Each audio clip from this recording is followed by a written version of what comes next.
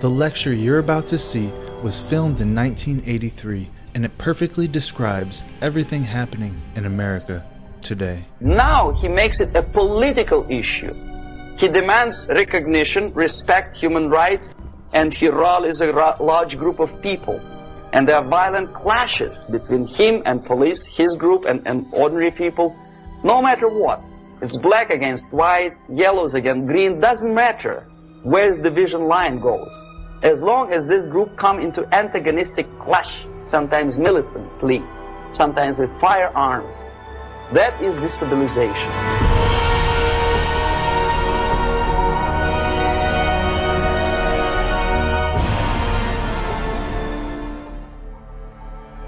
The speaker is Yuri Bezmenov, a former journalist from the Soviet Union who was trained by the KGB on subversion tactics, propaganda, and mass manipulation. He defected to Canada in 1970 after becoming disillusioned with the work he was doing and made it his life's work to expose the manipulation he saw that was happening in America. Now, I want you to listen carefully to this lecture and see if you can connect any dots, because you might just see some shocking parallels between what he is saying and what is happening in our country today. What subversion is? Basically, it consists of four periods, time-wise. If we start from here and go this way, time, right? This is the beginning point. The first stage of subversion is the process which is called basically demoralization. It says for itself what it is.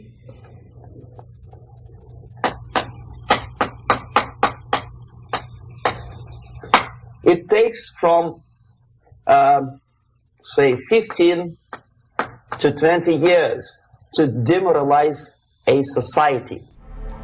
He just said it takes between 15 and 20 years to demoralize a society. Well, the year is 2020. Can you think of any major events that happened about 20 years ago today? Why, why 15 or 20 years?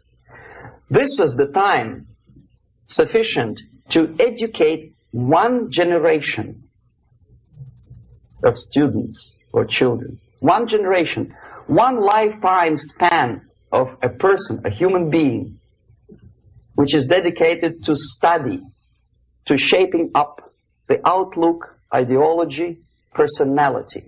Can you think of a generation that fits that description? I most certainly can.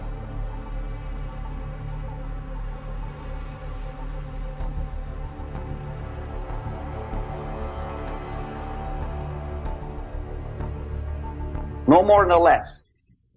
Usually it takes from 15 to 20 years.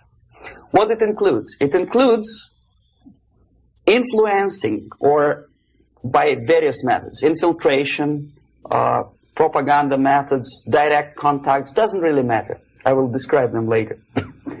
of various areas where public opinion is formulated. If it's a free democratic society, there are many different movements within the society. There obviously in every society there are people who are against this society. They may be simple criminals, ideologically in disagreement with the, with the state policy, conscientious enemies, simply psychotic personalities who are against anything. Right? And finally, there are a small group of agents of a foreign nation, bought, subverted, recruited. Right? The moment all these movements will be directed in one direction, right? This is the time to catch that movement and to continue it until the movement forces the whole society into collapse, into crisis.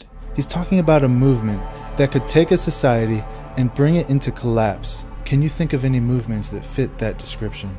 Right? So that's exactly the martial art tactic. We don't stop an enemy. We let him go. We help him to go in the direction we want them to go. Okay?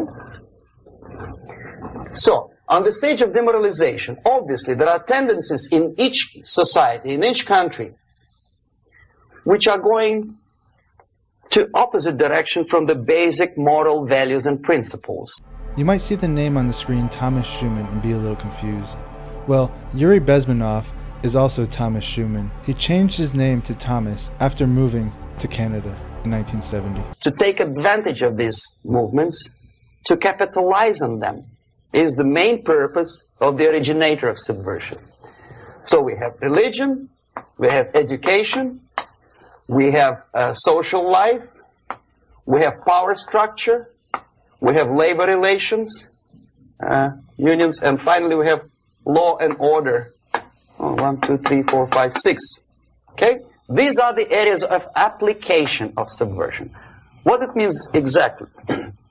In case of religion, destroy it, ridicule it, replace it with various sects, cults, which bring people's attention, faith, whether it is naive, primitive, doesn't really matter.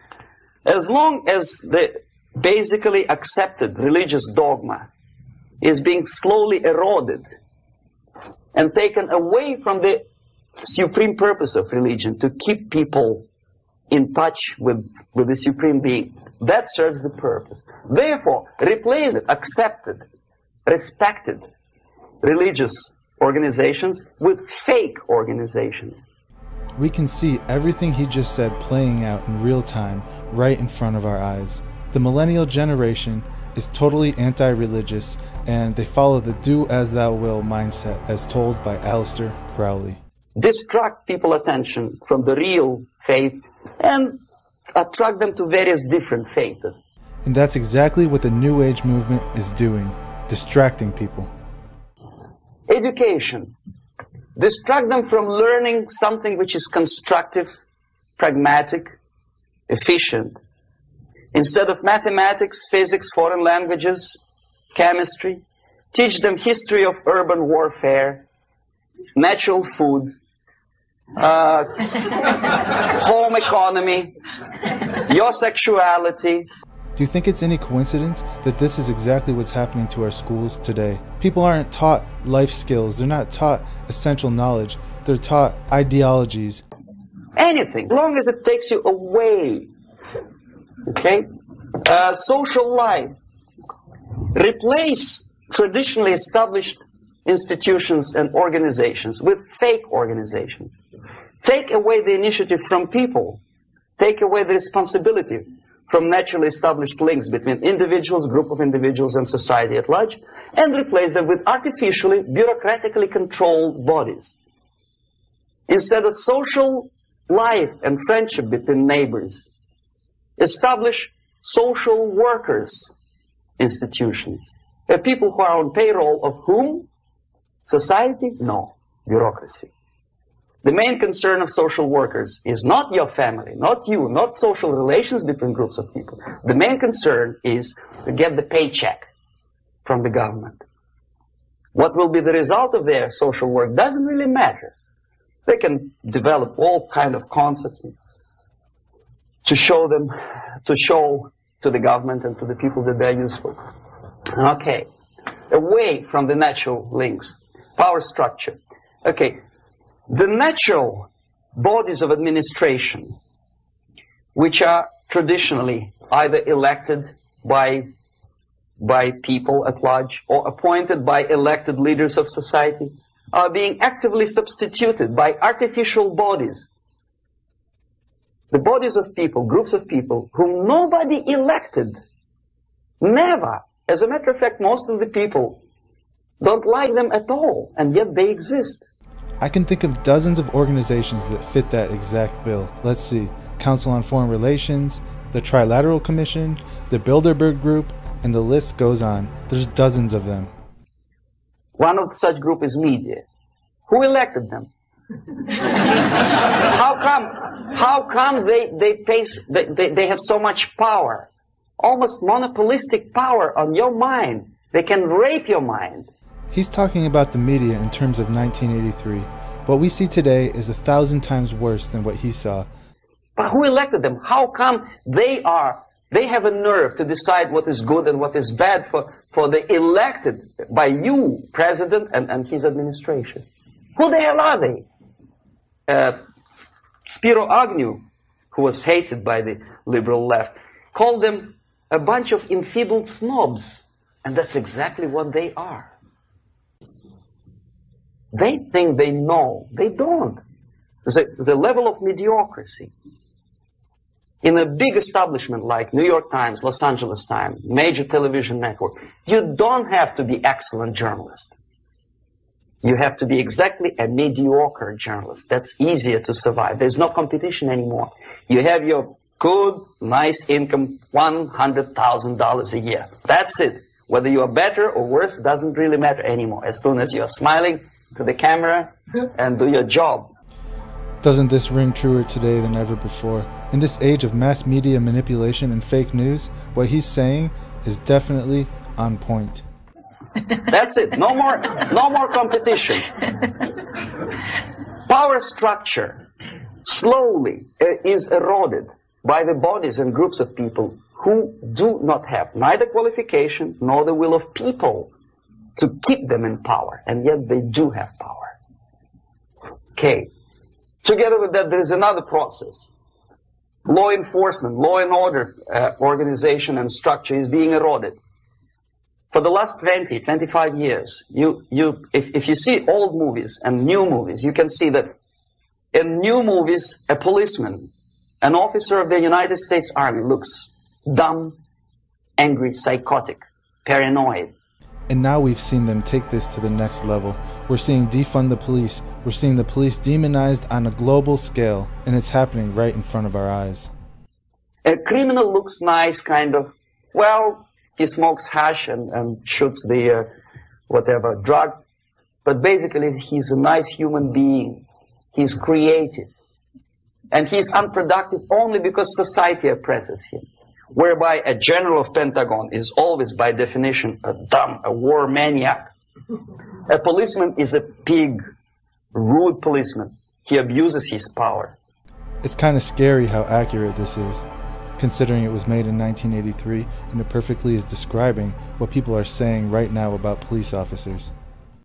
No? A generality, generalization like that.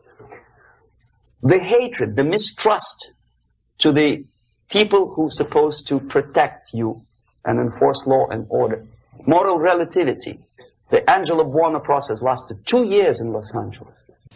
And yet there are still some lawyers who say, look, he's a nice character, as a matter of fact.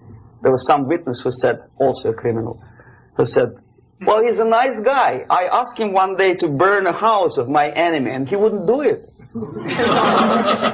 nice fella. Erosion.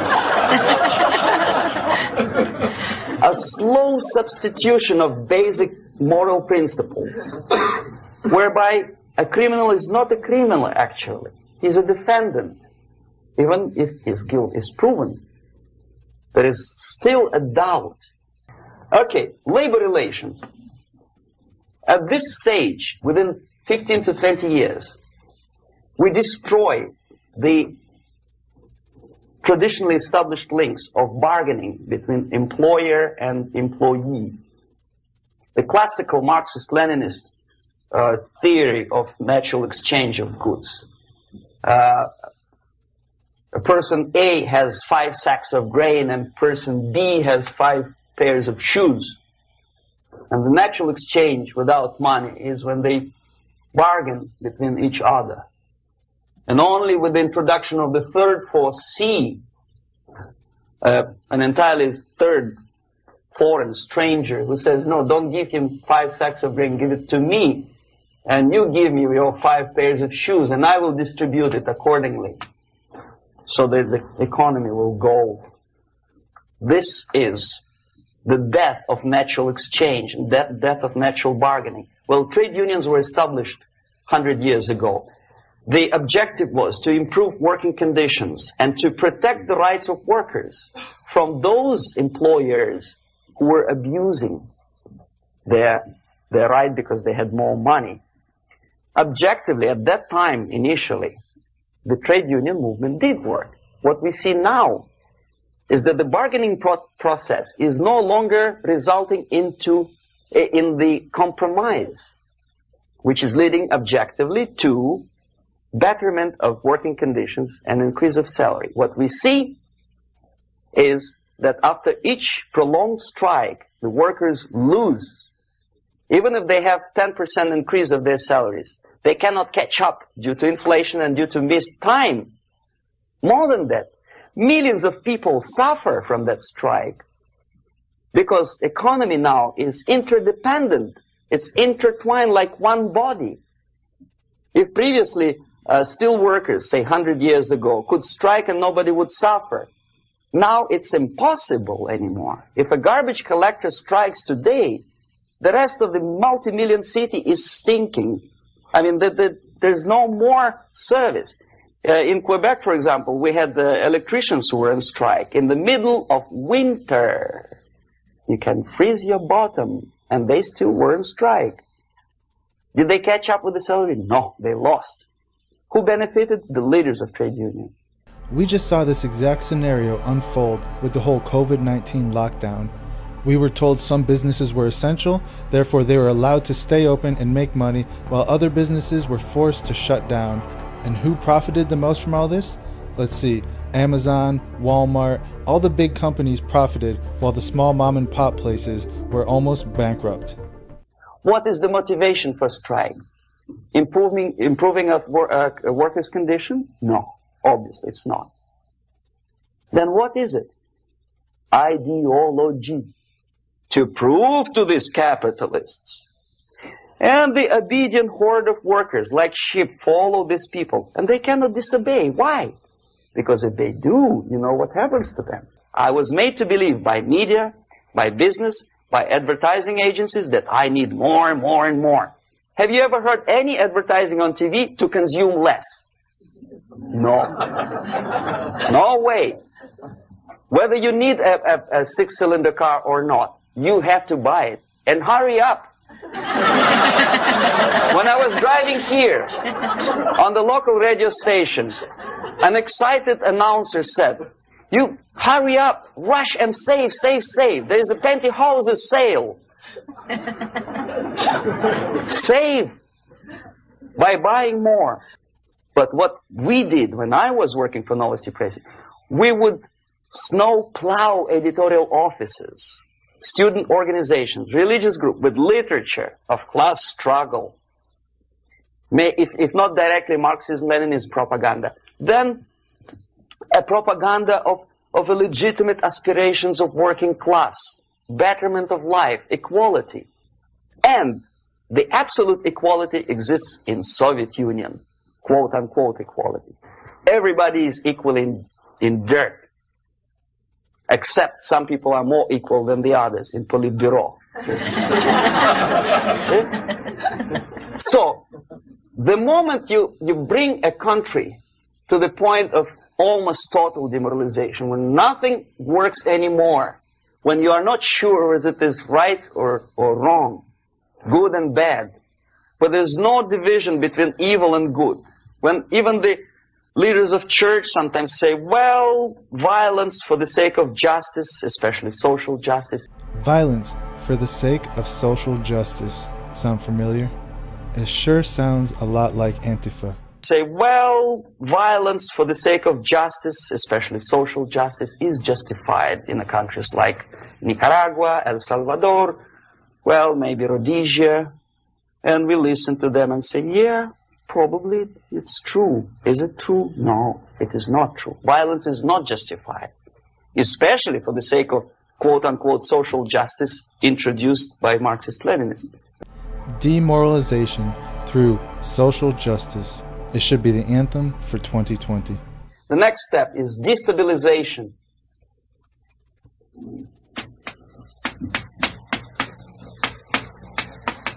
Again, this word says for itself what it is to destabilize all the relations, all the accepted institutions and organizations in a country of your enemy. How you do it? You don't have to send up a battalion of KGB agents to blow up bridges. No. You let them do it themselves. The area of application is again, it's, it's, it's narrower now. Not like the, the previous case. The overt legitimate actions of the, of the KGB in this case would be ha hardly noticeable. There is no crime if a professor who recently went to USSR introduces a course of Marxism-Leninism in, in a, a, a, Californian college, for example. Nobody is going to, to come to his doorstep and say, okay, mister, come, you are under arrest. No, it's not a crime. It's not even considered a moral crime against your country. So the area of application here is narrowing down to ec- economy, again, labor relations, right? To law and order. Destabilization of a country through the economy, through the lack of law and order, and through Marxist Leninist ideals. All you have to do is turn on the TV today, and you can see many different examples of this playing out in real time. Plus military. And uh, economy, law, and order. Yes, and again, the uh, media, but uh, wider scope, little bit different. I'll explain later. Okay, basically three areas. Economy side. Here it's radicalization on this on the stage of destabilization, we cannot come to compromise even within a family. The husband and wife couldn't figure out which is better. And we see this exact scenario playing out in homes all over America. Families are dividing over their support for Donald Trump. Families are dividing over their support for Black Lives Matter. Families are dividing over support for defund the police, etc. It's happening right in front of our eyes. They cannot come to compromise unless they start a fight. It's impossible to reach a compromise, constructive compromise between neighbors. Some people say, I don't like you to watering your lawn at that time because exactly at that time I'm walking my dog and he's getting nervous. He cannot uh, pass his bowels, you know. So they cannot compromise. They go to a, a, a civil court or something like that. Radicalization of human relations. No more compromise. Fight, fight, fight.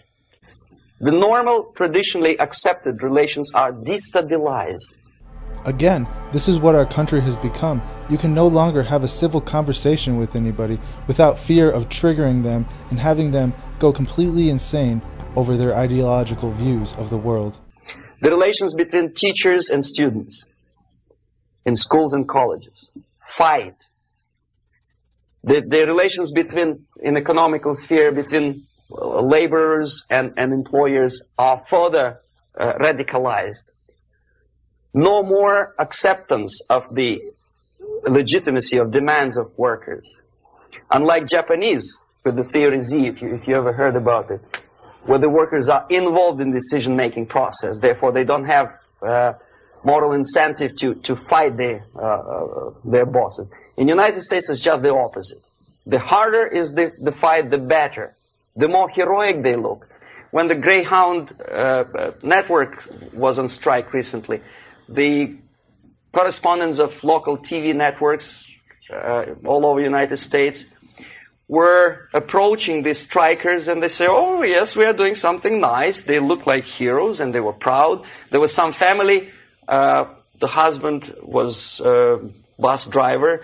Now they decided in, in, in, in a protest against the uh, uh, bosses to camp somewhere in the forest.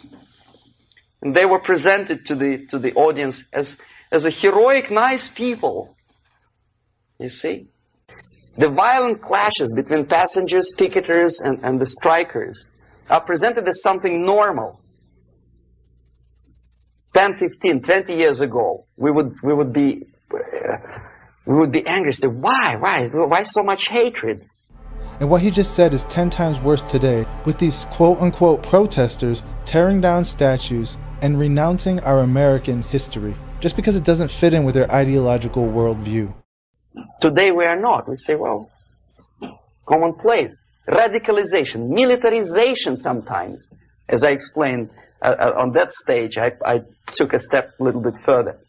Shooting people. Okay, law and order now also is uh, pushed into the area where previously people settled their differences uh, peacefully and legitimately.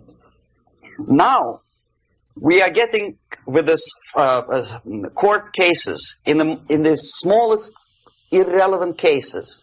We cannot solve our problems anymore. The society at large becomes more and more antagonistic between individuals, between groups of individuals, and the society at large. The media puts himself in the opposition to the society in general, at large. separate, alienated. Okay? On that stage, you remember I was talking uh, a, a couple of hours ago about the sleepers. That's when the students from, say, United States, if they are trained in, in Lumumba University, or developing nations, that's the students I was dealing with, are being sent back from the Soviet Union here. Or if they were already in the United States, in the country which is the object of, of subversion, they spring to action the sleepers go up. They slept for 15 to 20 years. Now they become leaders of groups, preachers, uh, I don't know, public public figures. Prominently, they act. In, they actively include themselves in a political process. Now he makes it a political issue. He demands recognition, respect, human rights, and he rallies a large group of people. And there are violent clashes between him and police, his group and, and ordinary people, no matter what. It's black against white, yellows against green, doesn't matter where the division line goes.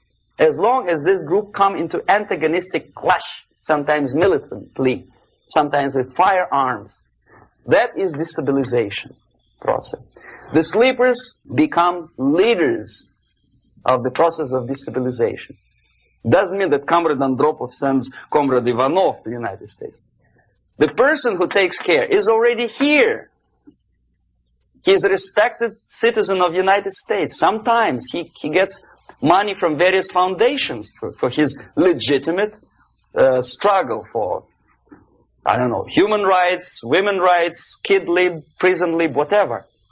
Again, we can see this playing out in real time with certain people such as George Soros paying for these movements and allowing them to prosper. This uh, stabilization process usually leads directly to the process of crisis. In case of developing nations, that's the area where I, I was active. The process starts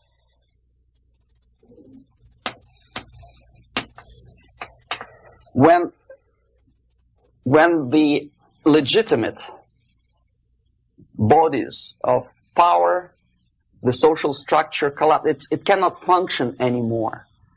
Demoralization, destabilization, and crisis. Where do you think we are right now? So instead, we have artificial body injected into society, such as non-elected committees. Non-elected committees. We call them NGOs. You remember I was talking about them here. Social workers, who are not elected by people, media who, self, who are self-appointed rulers of your opinion, uh, some strange groups uh, which claim that they know how to lead society forward. They don't usually. All they care is how to collect donations and, and, and sell their own concocted ideology, mixture of religion and ideology. Here, we have all this artificial's body claiming power if the power is denied to them, they take it by force. If power is denied to them, they take it by force. Where have we seen that recently? We've seen this play out in Seattle with the whole Chaz or CHOP movement. Okay? Crisis is when society cannot function anymore productively. It collapses, obviously. That's the, the word for crisis. So therefore, the population at large is looking for a savior. The religious groups are expecting a Messiah to come. The workers say, we have family to feed. Let's have a strong government, maybe socialist government, centralized. When, when somebody put, put the employers on their place and, and let us work. We are sick and tired of going to strike and, and missing overtime and all that stuff. We need some strong man, strong government, a leader, a savior is needed The things are going to get so bad The people are going to be calling out for a Messiah, looking for a Savior. Where have we heard that before? Well, the Bible tells us this exact scenario is going to play out, and the Savior is going to be the Antichrist. Population is sick and tired already. And here we are. We have a Savior. Either a foreign nation comes in, or the local group of, of leftists, Marxists, no matter what they call themselves, Sandinista, a reverend or, some sort, Bishop Muzorewa, like in, in Zimbabwe, doesn't matter. A savior comes and says, I will lead you. So we have two alternatives here. Civil war and invasion. Okay? See how it goes? Civil war, we know what it is. Lebanon is, is the best example. The civil war, which was artificially implanted in Lebanon by injection of force of PLO, Palestinian Liberation Organization. Invasion we have in many other countries like Afghanistan, uh, name any East European country, it, it was invaded by the Soviet army. But the result is the same. The next stage is normalization. Normalization is a very ironic word, of course. It is borrowed from 1968 situation in Czechoslovakia when the Soviet propaganda and after them New York Times declared the country is normalized. The tanks moved into Prague, so there is no more Prague Spring, there is no more violence, normal, normalization. At that stage, the self-appointed rulers of the society don't need any revolution anymore. They don't need any radicalism anymore. So this is the reverse from destabilization. Basically, it is stabilizing the country by force.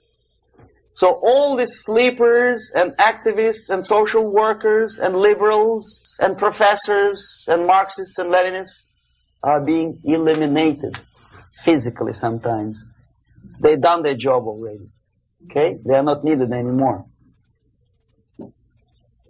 The new rulers need stability to exploit the nation, to exploit the country, to take advantages of the victory. Okay? So no more revolutionaries, please. Okay. So to reverse this process, from here, it takes only and always military force. No other force on earth can reverse this process at this point. At this point, it does not take military invasion of United States Army. It takes strong action, like in Chile. A CIA covert involvement to prevent the savior from outside to come into power and to stabilize country before it erupts into civil war. Okay? Support the right-wing conservative forces. By money, by crooks or love, doesn't matter.